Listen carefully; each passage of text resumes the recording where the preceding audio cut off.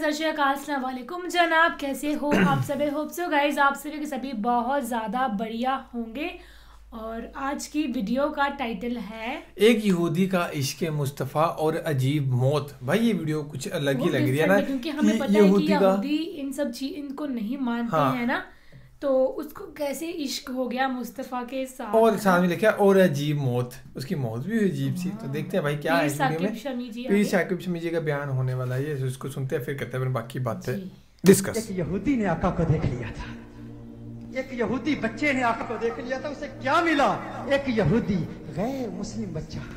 एक मर्तबा उसने मदीनतुल मुनवरा में कौनैन के वाली सल्लल्लाहु अलैहि वसल्लम के हसीन चेहरे को देख लिया, आका के हुस्न को देख लिया, चेहरा वद्दोहा को देख लिया, आका की जुल्फों का असीर हो गया, आका के प्यार को, आका के इश्क को, चेहरा वद्दोहा को, चेहरा यार को आईने दिल में यूँ उतार लिया, दिल के आईने में यूँ उतार लिया कि आका के इश्क में, आका की मोहब्बत में हर वक्त रोता रहता, गिरिया जारी करता, आका को याद करता, माँ बाप का इकलौता बेटा था, एक ही बेटा था। यहूदी थे माँ बाप उसके। खुद भी यहूदी था। एक मरतबा आका के हुस्न को देख लिया।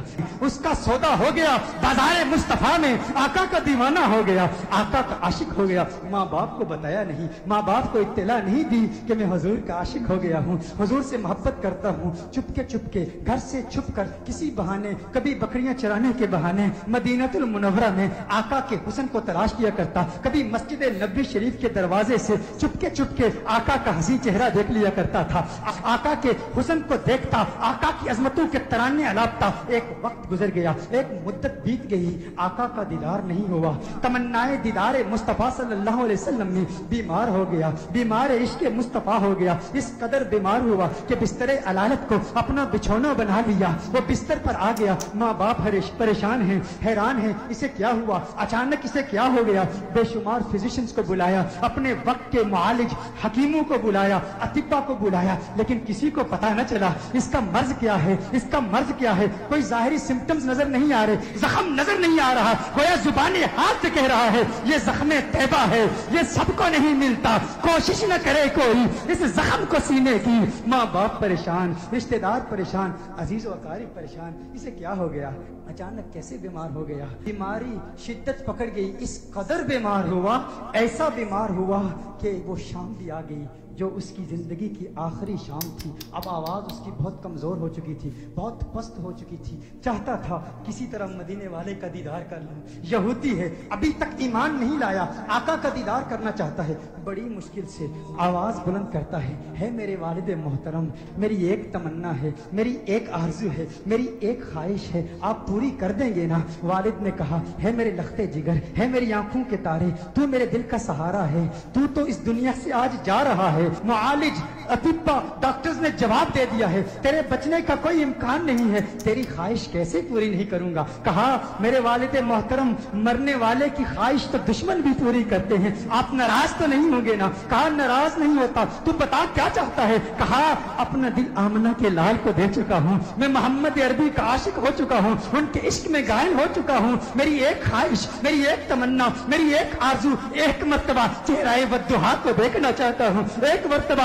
आका की हँसी जुल्फों को देखना चाहता हूँ। वालिद नाराज़ हो गया। वालिद ने गुस्सा किया। अरे जालिम, तू क्या कह रहा है? दुनिया से जा रहा है। अपना दीन भूल चुका है। क्या कह रहा है? कहा है, वालिद मोहतरम, आपने वादा किया था ना? आपने कहा था, मेरी आखिरी ख्वाहिश पूरी करेंगे। वालिद ने कहा, मैंने वादा किया था। तू मेरा इकलौता बेटा है। तेरी ख्वाहिश पूरी करूँगा। आका की बारगाह में पैगाम पहुँचाया गया। रसूलुल्लाह सल्लल्लाहु अलैहि वसल्लम की बारगाह में पैगाम पहुँचाया गया। एक यहूदी है, पर है आपका दीवाना। आपका आशिक है। मेरे आका रहमतुल्लिल आलमीन है। वो सारी कायनात के लिए रहमत है। फकत मुसलमानों के लिए रहमत नहीं, वो हर मज़हब से ताल्लुक रखने वालों के लिए रहमत है। फकत इंसानों के लिए रहमत नहीं, वो तो नबातात के लिए रहमत है। वो तो जमादात के लिए रहमत है। वो तो शजरात के लिए रहमत है। वो तो जिन्नात और मलाइका और सारी कायनात के लिए रहमत है। मेरे आका का अंदाजे दिल बराना देखिए। मेरे आका ने सहाबा से फरमाया, सहाबा, उठो।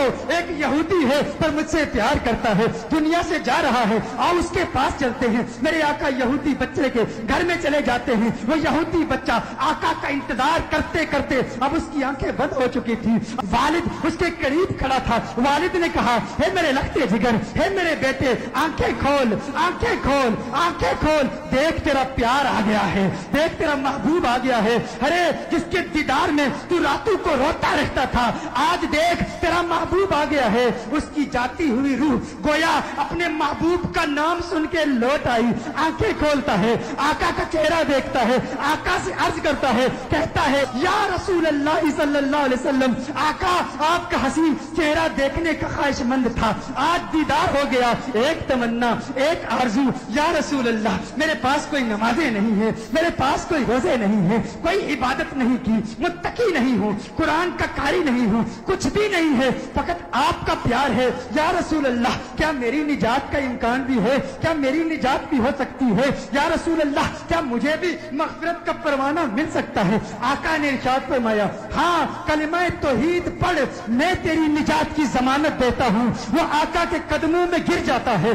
आका के कदमों में गिर के कहता है, मंजिल कब्र से लेकर दखूले जन्नत तक, आपकी जमानत पर कलिमा पढ़ता हूँ। कलिमा तोहीद पढ़ता है, जान अल्लाह के सपुर्द कर देता है। वालिद ने कहा अब इसकी मैयत मुसलमानों की अमानत है, अहले इस्लाम की अमानत है। अब इसकी तजहीज तकफीन की ज़िम्मेदारी आपकी है। जब जनाजा तैयार किया जाता है उस आशिक का, जब जनाजा तैयार किया जाता है उस दीवाने का, उस आशिक का जनाजा मदीनतुल मुनवरा की गलियों में घुमाया जाता है। हर तरफ़ उसी आशिक का चर्चा है। हर तरफ़ उसी आशिक के तस्करे हैं। मदीनतुल मुनवरा के मुजाफात से लोग जमा होते हैं उस आशिक का दीदार करने के लिए। अरे सुना है, कोई यहूदी था, कोई यहूदी था उसने मुस्तफ़ा ने उसे सहाबी बना दिया है। उसने आका का दीदार किया। गौर कीजिएगा, नमाज़ नहीं पढ़ी, इबादत नहीं की, रोजा नहीं रखा, जिहाद नहीं किया। मेरे घोष के मुजाहदात को याद कर लीजिए। मेरे बाबा की मेहनतों को याद कर लीजिए। खाजा गरीब नवाज़ की जिद्दोजहद को याद कर लीजिए। खाजा बाकी बिल्ला की मेहनतों को याद कर लीजिए। इमाम आज़म अबू हनीफा की फकाहत को याद कीजिए। इमाम अहमद बिन हम्बल की जिद्दोजहद को याद कीजिए। इमाम शाफई की फकाहत को याद कीजिए। इमामों की फकाहत, हिम्मत, जिद्दोजहद, मुजाहदू, रियासतों को याद कीजिए। वो सब इस यहूदी का मुकाबला नहीं कर सकते, जो पहले यहूदी था। अब सहाबी हो गया है। ईमान की हालत में आका का दीदार किया। ये गौसे आज़म से भी बड़ा है, ये ख्वाजा गरीब नवाज़ से भी बड़ा है। सब देखने के लिए आए हैं, दीदार करें। उस सहाबी का, जिसने फकत एक मरतबा आका को देखा और ऐसे बुलंद बाला और फौ आला मकाम पर फाइज हो गया। अचानक उसके चेहरे पर से कफन उठाया जाता है। सहाबा ये मंजर देखकर हैरान हो जाते हैं कि उसके चेहरे से नूर की किरण निकलती है। आसमान की तरफ़ फैल जाती है। सारे हैरान हैं। ये सहाबी जो पहले यहूदी था, आका का दीदार किया, ईमान लाया, उसकी मैयत मुस्कुरा रही है। उसके चेहरे पर, लबों पर तबस्सुम नज़र आ सब हैरान है। एक अजीब और गरीब मंजर साहबा ने देखा। सहाबा देख रहे हैं कि आका पाँव के पंजों के बल चल रहे हैं। पंजों के बल चल रहे हैं। आका यूँ चल रहे हैं। साहब अर्ज़ करते हैं, या रसूल अल्लाह सल्लल्लाहु अलैहि वसल्लम, इसकी क्या हिकमत है? आका ने इरशाद फरमाया आलम बाला के फरिश्ते, मेरे इस आशिक को देखने के लिए इस तादाद में आए हैं, इस कसरत से आए हैं। ज़मीन पर पाँव रखने की जगह नहीं है। पंजों के बल चल रहा हूँ। मेरे आका सल्लल्लाहु अलैहि वसल्लम उस आशिक को जन्नतुल बकी में ले जाते हैं। खुद अपने हाथों से उसे दफनाते हैं।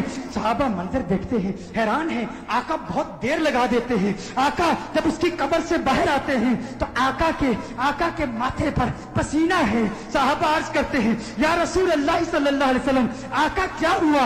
इतना वक्त क्यों लगा? आका ने फरमाया, जब ये इस दुनिया से गया था, मुझसे वादा लिया था, मैंने वादा किया था। मैंने कहा था, कबर की मंजिल से लेकर तो खुले जन्नत तक। मैं तेरी मकसद की जमानत देता हूँ। कहा, ये बात सुनकर जन्नत की हूरें इतनी खुश हुई है, इतनी तादाद से आई है, जब इसे कबर में रखा गया तो बेतहाशा इसकी तरफ़ भागी हुई गई है और इसके चेहरे की बलाएँ ले रही हैं। आका ने इर्शाद फरमाया, इसलिए देर हो गई और मेरा पसीना इसके चेहरे पर गिरा हो, मेरा पसीना इसके चेहरे पर गिरा है। अब कयामत तक इसका चेहरा महकता रहेगा। अरे, सलाम पेश करते हैं उस दीवाने की बारगाह में जिसने आका को देखा और उसे ये मकाम मिला। वो आज भी वो कबर में कह रहा होगा, ये नाजी अंदाज हमारे नहीं होते। जोली में अगर टुकड़े तुम्हारे नहीं होते। बेदाम ही बिक जाइए। बाजारे नबी में, इस शान के सौदे में खसारे नहीं होते। मिलती ना अगर भीख हजूर आपके दर से इस ठाट से मंगतुल के गुजारे नहीं होते। इस ठाट से मंग तो गाइस ये थी वीडियो जी। और एक बहुत ही हार्ट टचिंग सा ये किस्सा था भाई है ना? कि हाँ मौत का इसलिए लिखा था टाइटल कि मौत किस तरीके से हुई कि एट दी एंड भाई जिसको मतलब प्यार होना सच्चे दिल से उसको कुछ भी चीज़ मिल जाती है इजीली है ना? कि सच्चे दिल से प्यार था वो मिला भी उसे एट दी एंड और ऐसा मिला कि भाई मतलब कि वो बताने लायक ही नहीं है। कुछ सीधा डायरेक्ट जन्नत में वो भी क्यामत तक है ना? और कैसे वहाँ की जन्नत की हो रहे उसके पास भागती हुई आई कि नहीं यार है ना? और इतना टाइम लग गया उनको। प्रोफेसर मोहम्मद को ने कहा कि मेरा अब जो पसीना है वो उसके चेहरे पे अब पूरी क्यामत तक उसके चेहरे पे। रोशनी ही रहेगी। तो ये था किस्सा और बस यही है इस वीडियो में यही है कि प्यार करो ना किसी के साथ तो सच्ची शिद्दत के साथ करो वो चाहे आप किसी के साथ भी करो है ना? तो बाकी ये था बयान होप सो आपको बयान पसंद आया हो और मज़ा आया सुनने का रिएक्शन पसंद आया हो और ऐसे ही होंगे कुछ ब्यूटीफुल से वाक्य समथिंग तो हमें ज़रूर बताना हम उस पर रिएक्शन करेंगे। सो बाकी तो फ़िलहाल thank you so much for watching the video मिलते हैं नेक्स्ट वीडियो में।